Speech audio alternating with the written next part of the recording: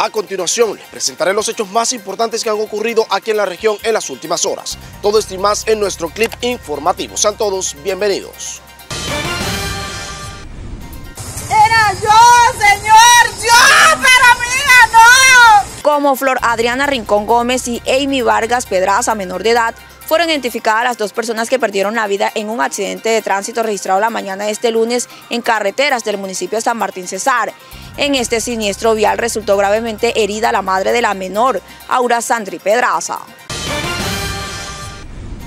Pedro Castilla, de 57 años, perdió la vida en un accidente de tránsito cuando se desplazaba en una bicicleta y colisionó con un vehículo de servicio público. El siniestro vial ocurrió la mañana de este lunes en el corregimiento Caracolí.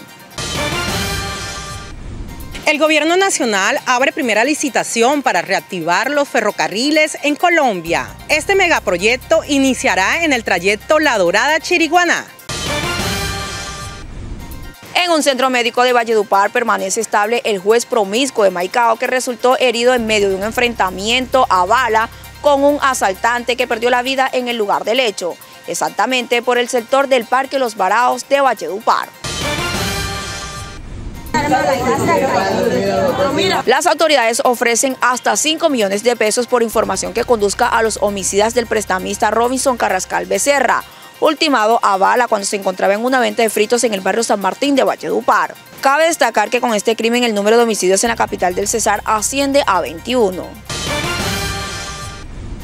En el patio de una vivienda del barrio Divino Niño de Valledupar fue hallado el cuerpo sin vida de Diana Patricia Cuello Padilla, en avanzado estado de descomposición. El cadáver fue trasladado a medicina legal para establecer las causas de la muerte.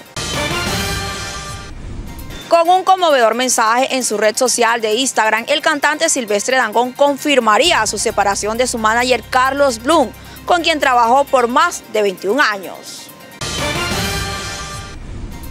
En Atrás Cesar fue ultimado a bala Joan Alberto Hoyos Mieles, de 19 años. El joven se encontraba en la habitación de su casa en compañía de su pareja sentimental cuando hombres armados ingresaron y sin dar palabras le dispararon.